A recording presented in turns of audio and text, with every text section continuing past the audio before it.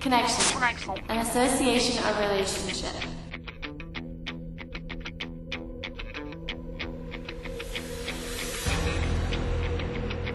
I think of Tita Rada because she always goes like when I ask her, I was like, oh, so where did you get this? She goes, I don't know, I have connections.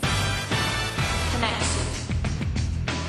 What do I think of when I hear the word connection? I I see um, I see just um, being having contact and being able to uh, give and receive, um, just like with the when the telephone line connects with some with with another place. Um, we can send messages through that telephone line. And we can receive messages through that phone line. That, and in that way, we're connected. To be connected with the Lord.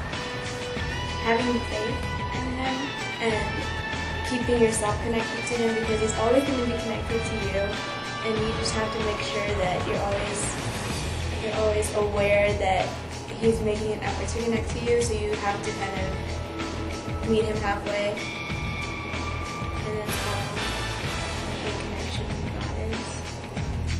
Connection. Means or channel of communication. I think of communication between um, other gener- different generations and the culture differences.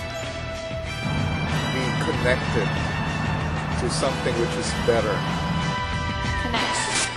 A person, especially one of influence or importance, with whom one is associated as by nature. Knowing that he's there, um, knowing that he loves me and he has a plan for my life.